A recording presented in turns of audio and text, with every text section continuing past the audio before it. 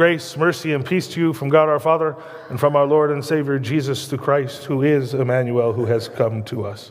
Amen. Well, as of Thursday, January 5th, Christmas is officially over. Are all the decorations down at your house? You already took care of all that? They're still up at my house. Yeah.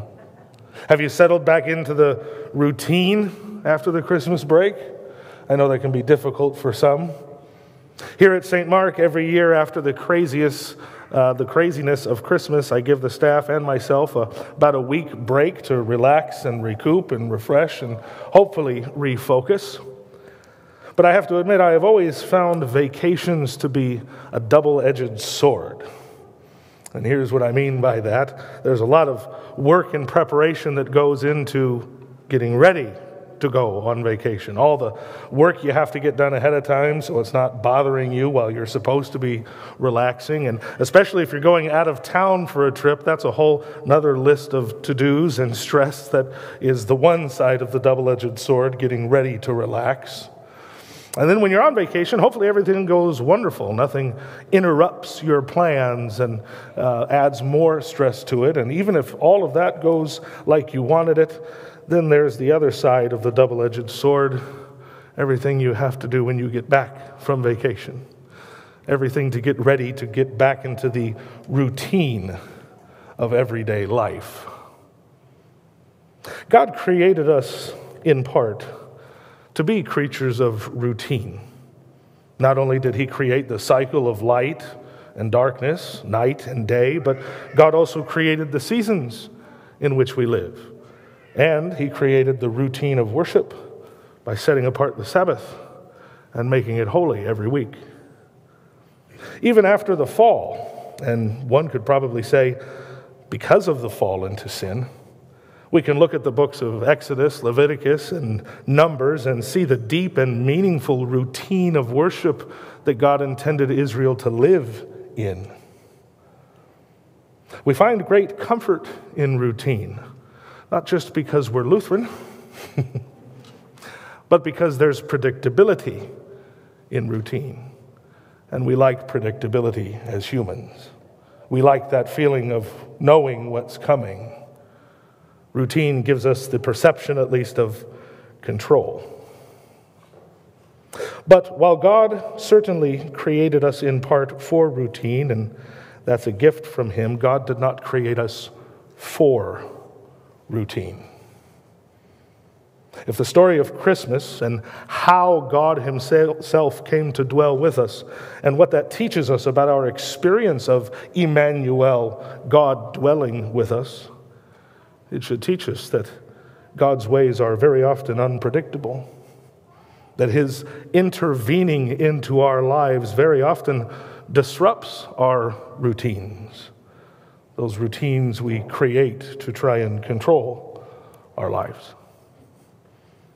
In Matthew chapter 2, we find Mary and Joseph in the routine of everyday life. It's been quite some time since Jesus has been circumcised, that we read about last week when he was brought to the temple and Simeon held him in his hands, the 40 day old baby at that point. Now, Jesus, who's about two years old, with Mary and Joseph, are living in Bethlehem the city of David, where King David was born and anointed. And there's no reason to think that Mary and Joseph weren't doing everything that any other young parents do day to day, desperately trying to achieve routine. That is, until their routine, everyday life was rudely interrupted by three wise kings. Well, the Bible never says they were kings.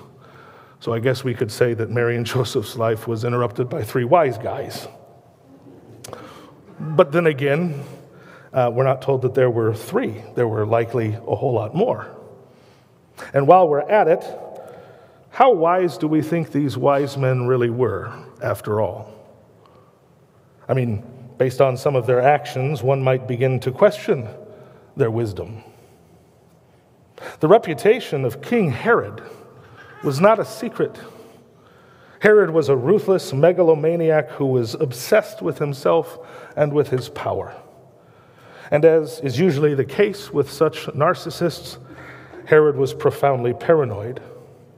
It was common knowledge at this point that Herod had not only put his uh, perceived threats to power to death by the sword, but he even killed his sons in his paranoia because he thought they were going to steal the crown from him.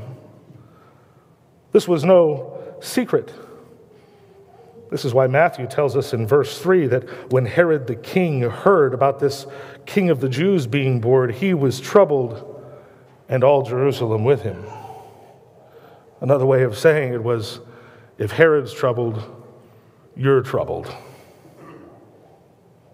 So then, if Herod was so widely known as a murderous tyrant who killed any threat to power, why would the wise men walk straight into Bethlehem and say, Hey, we're here to find the new king, and we're not here to worship you, King Herod?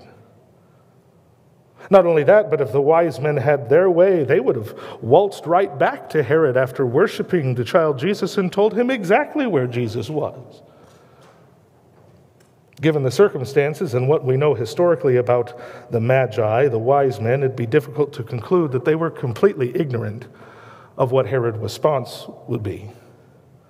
So then, why, if they came to worship a king, would they do so in such a way that put him in danger? Well, we could speculate all day as to why the wise men did such an unwise thing, but that's not the point of the text. What is the point of this text is that God intervened, that God interrupted the plans. He interrupted the wisdom of men for the sake of saving mankind. Matthew tells us in verse 12 that after the wise men fell to their knees and worshiped Jesus and gave him their gifts of gold and frankincense and myrrh, they would have gone back to Herod and revealed Jesus' location. But being warned in a dream not to return to Herod, they departed to their own country by another way. These wise men, very well, may have been wise in their own eyes and maybe even wise according to other people. But clearly, we see in their actions that knowledge is not the same as wisdom. In fact, you could say it was what these wise men knew that put the life of the king in jeopardy. Nevertheless, I would still say that these men were, in fact, wise. They were not wise because they knew some Hebrew scriptures or that they studied the stars or that they were good scientists.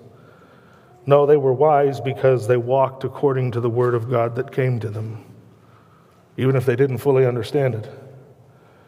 They walked according to the word that was revealed to them. Though we don't know exactly which prophecy of Scripture originally informed them that the Messiah of the Jews would come with a star, there were certainly plenty to choose from. You have Numbers 24 that said, I see him now or I see him, but not now. I behold him, but not near. A star shall come out of Jacob, and a scepter shall rise out of Israel.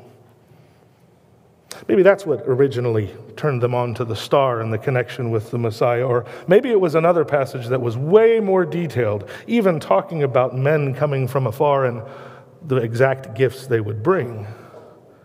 Isaiah chapter 60 says, Arise, shine, for your light has come and the glory of the Lord has risen upon you. For behold, darkness shall cover the earth, and thick darkness the peoples. But the Lord will arise upon you, and his glory will be seen upon you. And nations shall come to your light, and kings to the brightness of your rising. Lift up your eyes all around and see. They all gather together, they come to you. Your sons shall come from afar, and your daughters shall be carried on the hip. They shall bring gold and frankincense and shall bring good news to the praises of the Lord. Even if it was in complete ignorance, even if they did so not really understanding at all what the text they were reading meant, the wise men followed the word of God that was revealed to them. And as the word of God always does, it revealed to these men salvation. It brought them to Jesus. Did the wise men find and follow the star because they figured it all out with their telescopes and compass? No.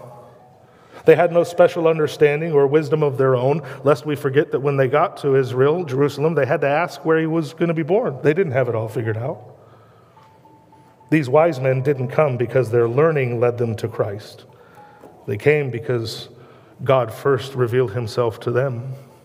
And it wasn't first through a star, it was through his word. His word that casts the light of Christ into the darkened hearts of men. No wonder Matthew says in verse 1 of our text Now, after Jesus was born in Bethlehem of Judea in the days of King Herod, behold, wise men from the east came to Jerusalem, saying, Where is he who has been born, King of the Jews? That's a great word in the Greek, behold, idou. It's fun to say, at least. And every time Matthew uses it, it's connected with a revelatory aspect of who Jesus is. And when Matthew says these wise men came, he says, Whoa, look at that. In a very real and appropriate sense, OMG. Oh my God, look what God has done. No one expected wise men from the east to show up to this child's home knowing that he is, in fact, the Jewish Messiah. Look what God has done. Through his word, even to a Gentile heart, he has revealed his salvation in Christ. Psalm 119 says, Your word is a lamp for my feet, a light on my path. And that was not only true for the Gentile wise men, as we see in this story, that was true for Mary and Joseph too. Their whole lives were turned upside down that day when the angel Gabriel came and said, Well, uh, you're going to have a son, and he is the Son of God. And for that period of time, I'm sure everything seemed crazy. And at least for the past two years, they finally had a chance to just settle down into a routine until yet again the Word of God intervenes. And this time it's not with a message of great joy, but with the news of great trouble great fear because of Herod. It's a message to Joseph to run fast and to run far. Three times God came to Joseph in a dream. Verse 13 Rise, take your child and his mother, and flee to Egypt, and remain there until I tell you. Can you imagine if that happened in modern day? Say you're home getting ready, trying to put the kids to bed or make dinner, and the Lord comes to you and says, Pack up now, leave now, and drive as fast as you can. Where? Egypt. How long? I'll let you know. Then finally, after the wait in Egypt was over, in verse 20, the second dream comes to Joseph, and he says, Rise, take the child and his mother, and go to the land of Israel, for those who sought the child's life are dead. And can you imagine the relief? That must have fell upon them. We get to go back home. Well, that is until God intervenes yet again in verse 22. But when he had heard that Archelaus was reigning over Judea in place of his father Herod, Joseph was afraid to go there, and being warned in a dream, he withdrew to the district of Galilee. And he went and lived in a city called Nazareth, so that what was spoken by the prophets might be fulfilled that he would be called a Nazarene. See the pattern there? God intervenes with his word. And as astonishing, as unbelievable as it might have been, Joseph went. I can assure you he didn't understand. The text tells us he was terrified. But the word intervened, and Joseph followed. Though God's intervening through his word certainly ruined the routine of Mary and Joseph's life and resulted in fear, uncertainty, even hardships, God intervened into routine to bring about salvation through his word made flesh, Jesus, who was born to die, but at least for right now had to live so that at the right time he would die and bring salvation for the whole world, and especially for those holy, innocent children that were murdered for his sake, those first martyrs of the church. When God intervened into the lives of people like the wise men and Mary and Joseph, who received the word into their life, into the routine with faith, then what was revealed to them was life and salvation, even through pain, even through suffering. The word revealed life even through death. But for those like Herod and the scribes and priests who rejected the intervening word, there was only suffering, only death. Epiphany is still happening today, even this day, as the word comes to you now, as the word of God comes and desires to intervene in your life, to intervene into the routines that we have established. God promises that when we live faithfully in His Word and walk according to it, He will lead us to the exceeding joy of salvation, even if it comes through times of uncertainty. Even if that Word reveals to us the joy of salvation through fear or trials or suffering. When the wise men finally laid eyes on the Christ child, Matthew tells us they rejoiced exceedingly with great joy, and, and that's why God intervenes into our life. Even messing things up sometimes because He desires what's best for us. Something only He can know, something only He can see. God has intervened in your life, my friends. Emmanuel has come. The word is with you, not only in your heart, but even in your hands. I pray that you hear that word, and that word of God that is the power of salvation would guide you and lead you in your life now and into eternity. And so I pray that God would grant us to walk faithfully in His Word and allow Him to intervene into our life because He has come. He is here. And He gives us His Word today so that we would rejoice exceedingly both now and forever. Amen.